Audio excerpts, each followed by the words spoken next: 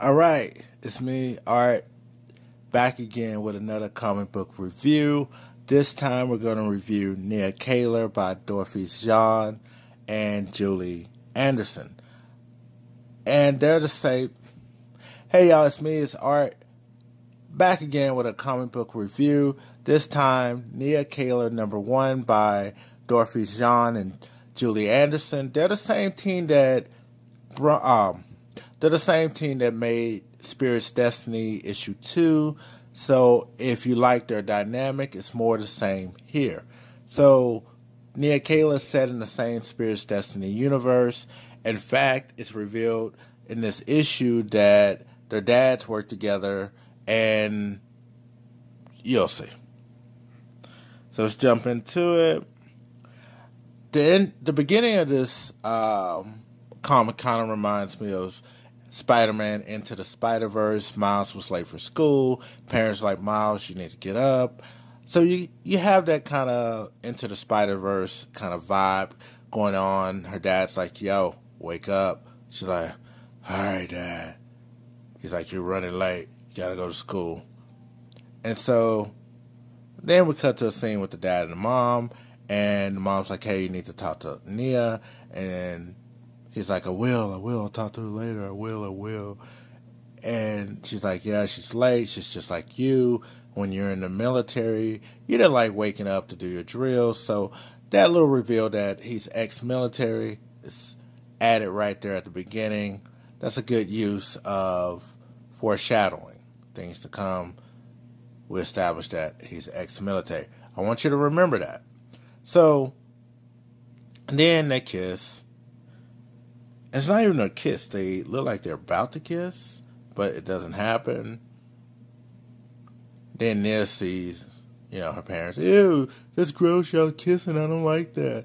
And she's about 15, 16 years old, so she's a little too old to be grossed out by parents showing affection towards each other. And for whatever reason, her and her mom has this tension. She's kind of like, you know, disrespectful towards her mom. And I noticed the same thing when I read Spirit's Destiny, the Spirit character had a similar attitude towards her mom. So the mom's like, hey, we pay the bills, we can do what we want. And Nia's like, well, no offense, mom, I appreciate everything you do for me, but I just don't want to see y'all make out this gross. And so the dad and Nia leave, and where are we at right here? They get in the car in this panel. I'm assuming they're driving to the school, and then in the very next panel, she's getting out of the car and she's at school. He like burns rubber. Like, why are you such in such a rush to get out of here? But the weird part about it, they're driving. You have these two little kids right here. I'm Like, are they playing in the street? What gives? This was like the quickest, the quickest um, trip to school ever. So it's crazy. So she's in the hall and she meets a girl, and I'm assuming this is her girlfriend. Remember, she doesn't like PDA or at least seeing her parents kiss, but she's cool with kissing this girl. Till the teacher interrupts, and teacher's like, "Hey, uh, no PDA in the hallway." So she tells this girl bye. People are just messaging me. Um, she tells this girl bye. She heads to class. Teacher's like, hey, you're late. Get to class. And I didn't realize at first this is Spirit from Spirit's Destiny, which is weird because Julie also drew that issue, but it doesn't look like her in this book. So that I found that kind of weird. Uh, and when we talk about the art, I'll it's a lot going on with this art. Uh, so anyway, it's established that Spirit and Nia pretty much troublemakers. They do what they want. Um, they they kind of like don't respect too much of anyone. Um, that's what the narrative that I get reading this. The weird part about it, she refers to the spirit character as Destiny, but the book is called Spirit's Destiny, you know, showing ownership. So that's that's kind of weird because I'm like, wait a minute, her name is Spirit. I don't know. but apparently her name, well, I just shook the camera. Let's stop that. But apparently her name isn't Spirit. Apparently it's Destiny or both. I don't know. Anyway, we cut to a scene with her dad. He's meeting up with this guy, and I'm assuming this is the bad guy. It's like generic bad guy. Like, hey, are they in there? And he's like, they don't look like they're trouble. And this guy's like, oh, yeah, looks can be deceiving. Trust. And I don't know why he didn't go in there, you know, with these other guys, but apparently the dad and Spirit's dad are holding this conference talking about this formula that they created, this serum. So, again, Nia's dad and Spirit's dad are both ex military, but it's not established that they're scientists. They're not ex military scientists. Apparently, they were, you know, foot soldiers. But anyway, they brag about how they created this super serum and how it's been used to kill terrorists, blah, blah, blah, blah. You know, they created this for the people, to protect the people. It gives you enhanced speed, strength, endurance. Basically, they created Captain America's super soldier form, uh, serum. So, they're bragging about that. And they're like, hey, we need investors. But I'm looking at them like, wait a minute, if y'all have all these government contracts and you're creating all these supermen for the government, those are huge contracts already. Why do you need more investors? What is your end game here? Because if you get government contracts, you're set. And it's and then it gets a little weird because they're like, hey, some of these guys in the audience look like some of our former enemies. Which would make sense if you have this serum that can create supermen and superwomen. You're going to have terrorist organizations in the room. Going to have different government organizations, private militaries. So they should know what they're getting into. So it, there's that. So they're walking off and they're having a talk and they're like, well, we don't want this serum to get into the wrong hands, but you've already gave it to the government. You really think the U.S. government or whatever government is just using this uh, to save people and do heroic stuff? Come on now. So go back to class. Apparently, uh, Nia and her girlfriend they have lunch together since they don't have class, at least that class, and people are throwing food. And you look over there, and you can barely see her. Spirits in a fight. And they're like, whatever. So they sit down. Next you know, a football lands on their table. Nia gets covered in food. Notice she's covered in food right there. And yeah, she's mad. She's like, who threw this? and this little girl right here. There's a lot of weird height dynamics going on in this comic. Like people's heights seem to change from page to page, panel to panel. So it's very weird. uh, there's definitely the artist did not use a height chart when she uh, drew this. Very weird how people's height they keep morphing. So the short girl, and these are like the only white characters in the book, except for the evil white. I guess I don't know if he's crime lord. I don't know what his deal is. Just a rival corporation. Um, so a lot of evil white people in this book. so she doesn't take shit. She's like, "Yo, I threw it. What about it?" And then there's some issues with this girl doesn't like seeing Nia kiss another girl. She doesn't like gay seeing gay stuff, and it's it's weird. I don't want to touch on that too much because Nia doesn't like. In a way, you can look, look at it. She doesn't like seeing straight people kiss, but she's okay with her kissing another girl and wants everybody to be okay with it. And this girl's like, "Hey, I don't want to see that. You know, I don't want to see gay people kissing, and Nia has a problem with it to the point where Nia just decides to just get the football and not only attack the girl, but her boyfriend either, who's like, hey, you know, leave my girl alone. And Nia decides, hey, I'm gonna take this football, I'm gonna slap you with it, and I'm gonna just pound this football as hard as I can into this girl's face. So I don't know where the writer was going with this, what she was trying to say. Um, but there's definitely some psychological stuff going on with this character and the whole SJW thing is she's saying that, hey, if I'm gay, you got to accept it. If you don't like it, I'm going to do something about it. But that's just me assuming. But it's apparent that Nia doesn't like seeing straight people kiss, or at least her parents. So there's that. So teacher comes out, takes her to the office, this girl's face is just pound pounded in like her face should be broken, nose, and I don't see how she's not Nia's not in handcuffs right now. She attacked two students, and I don't know where the guy went. I guess he's okay or just still knocked out cold in the cafeteria, but uh, definitely has some anger issues. So anyway, her dad comes in. You know, he's like called. It's like, hey, come pick your daughter up. She's been in a fight. And this is the weird part. He's like, wait till I get my hands on you.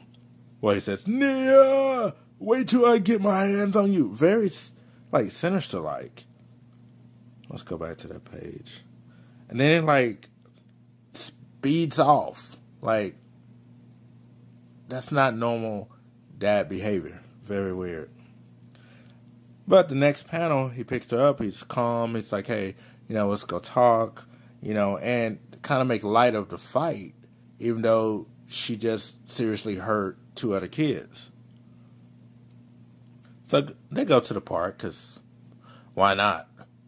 I mean, they can have this talk at their house, anywhere, or even in the car. They decide to go to the park. They get out. He reveals that, hey, I'm an ex military. I used to work for this place, this organization called an agency. And she's like, what? He's like, yeah, I did some bad things. He's like, the agency, the army, military, they're all pretty much the same thing. And she seems shocked by all this. Like, what? What do you mean? Please elaborate. I'm confused. And that's when he, you know, tells her, like, the agent, the military, is all the same thing. And then she's like, Were you an assassin? I don't know where she jumped from him being in military to him being an assassin came from. You know, after he said, you know, I have to do, you know, some bad things to some people. And she knows this, going back to earlier in the issue where it's established that she wants to follow in his footsteps and join the military. That's already been established. This is a military family. So it's weird seeing her reaction to this at this point that, hey, dad, you were in the military. That's a, it's very weird reactions.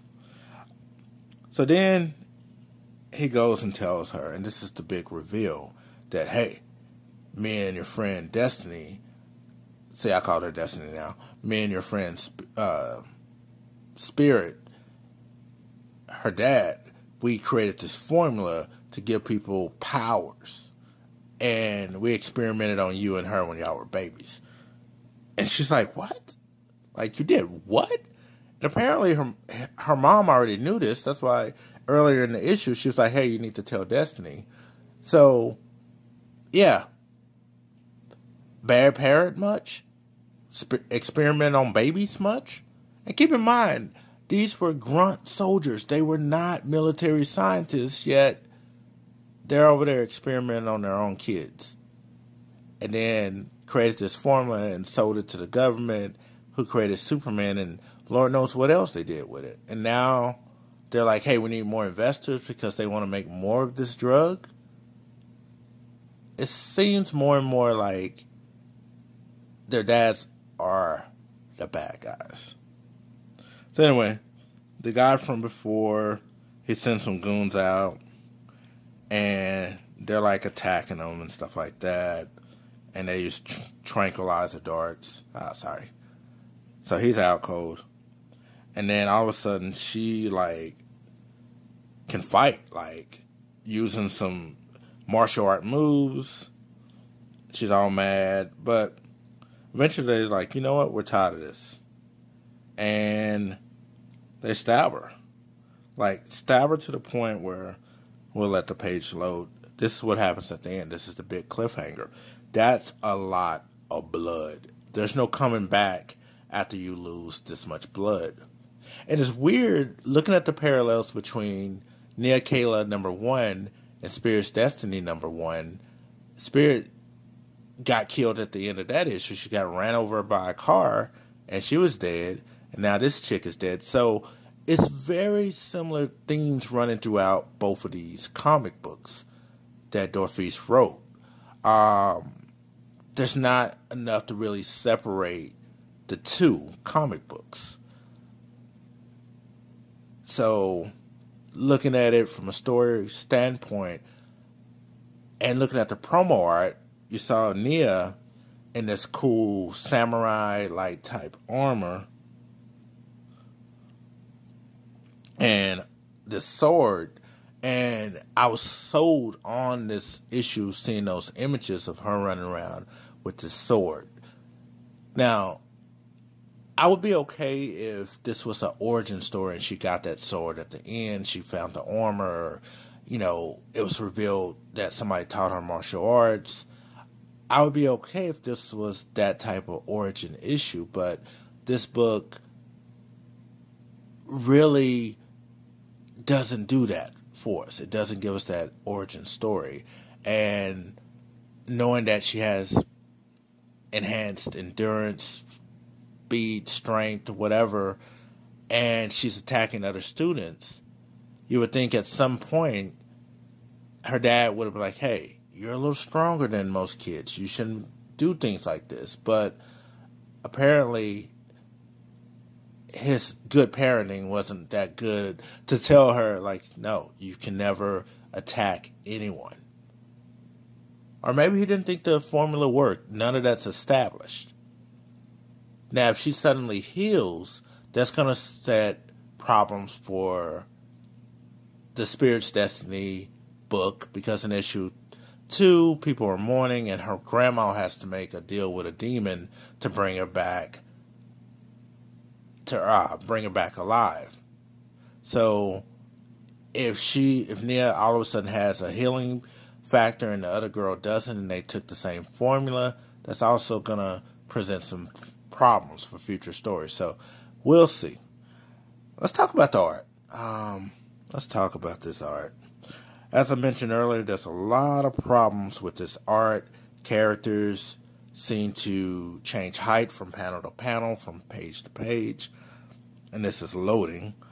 Uh, if you watch my video, Top 10 Mistakes New Comic Book Artists Make, I recommend everyone play that video for Julie Anderson. She needs to watch that video. She needs to study that video. Uh, let's just take this page the perspectives in this comic book are all off. There's really no foreground, middle ground, background. She wastes a lot of space that's just empty. It's not alive. She doesn't feel it. And some things just seem to move from panel to panel. Like, for example, this window. Where's this window at here? It's not over here. Things just move. I don't even know what that thing is. Um, in some panels, she doesn't even bother drawing a background at all. Again, let's look at this panel. There's the door. They're standing here. Look at all this space here. Look at all that space. And when did her mom move from here, just from being beside him in this panel right here, to now she's way over there, and I don't even know where that came from. So it's a lot of that just empty space going on, and the artist not paying attention to what she drew in previous panels. We're back to this panel again. They she managed to get to school from one panel, one to two panels to the one to two panels she got to school, and these kids are playing in the street next to a speeding car. It's little things like that that someone that's experienced with storytelling they would catch. There was two editors on this book. There was an editor and a co-editor. They should have caught these if the writer didn't. That's why you hire an editor to catch these simple mistakes. But the bottom line is the artist looking at these pages, she was she didn't care. She just wanted to get them done. Like you have this wide hall. She's right here. All of a sudden, generic backgrounds. It's like copy and paste. There's no life in these panels. That's a wide, super wide door. And this panel really tripped me out because I'm looking at the backgrounds and how everything just fluctuates here. It was very weird. Like what happened to that? I don't know if that's a laptop or paperwork that was right there. It's not there. That's something totally different. You know, even where this chalkboard is behind the desk. I'll shake it again. You see, it's kind of aligned with the desk here, and now the chalkboard is moved way over there. I don't know what happened to the world map in this panel, or this. Everything just tends to move a lot in this book. You definitely need this book. Definitely needs a serious editor to go in and correct some of these mistakes. But all in all, I can't blame the editors. Well, yes, we can blame the editors for not catching these things. Uh, I don't know when at what point the editors actually they just edited did the copy editing on the script or if the editors actually saw the final pages. That that part I don't know. But overall, Nia Caler number one, looking at the story, it needs work. Um, doesn't really present the main character Nia in a positive light. She has issues with her mom. Uh, she has issues with straight people. And she's okay with her SJW narrative, if you will. But I don't know where this book is going with the main character. Because there was nothing in here to make you root for her or explain why she's acting the way she is attacking people just because they don't like who you are or what you do is not the answer. And apparently, from reading the script, this isn't the first time that Nia's done this.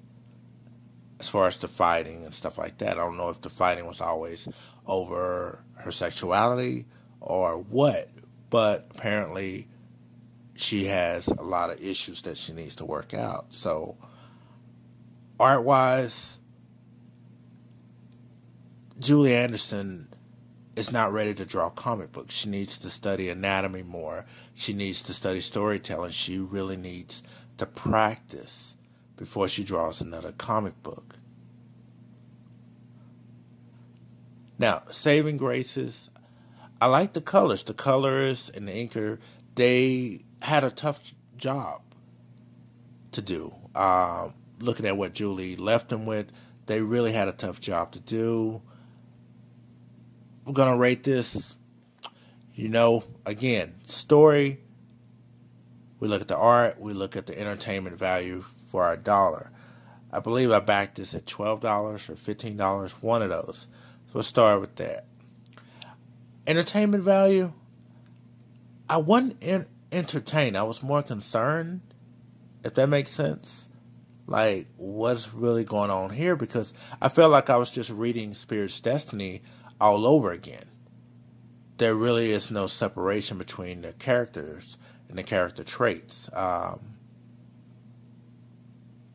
there was no creativity put in here, and I kind of feel cheated that I did not get the girl on the cover. I want to see this girl on the cover. I want to see the sword. I want to see the cool armor.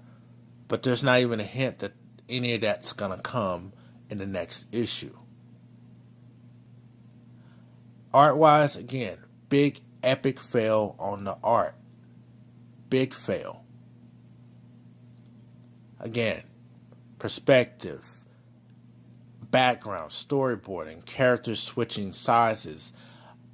A lot of problems in the art area that really weigh this story down. And we can forgive some of the story elements. Um, this is a really hard book to really review because reading it, and I read this issue three times. Only thing I can get out of it is that Nia has issues with her mom. She has issues with people, and her dad in spirits that are you know kind of up to no good. There's not really an established bad guy yet, or guys that are kind of you know checking out and want this formula, but they're not like a big bad. And even their motivations aren't clear. So, rating 1 out of 10. Um, I'm going to have to give it a 3. We're going to give it a 3 out of 10, mainly because the art really drags this story down and the story isn't clear aside from Nia having issues with other people and things that are revealed early in the book as far as her dad being in the military and she herself is going into the military. She seems totally shocked by the fact that her dad has killed people before. And it's just weird that her mom and, and dad are cool with experimenting on children. So that's it. Uh, Nia number one. Uh, if you backed it, uh, digital copies are out. Physical ones will come in shortly. Hopefully, issue two will correct some of these mistakes and clarify things. Uh, we'll see.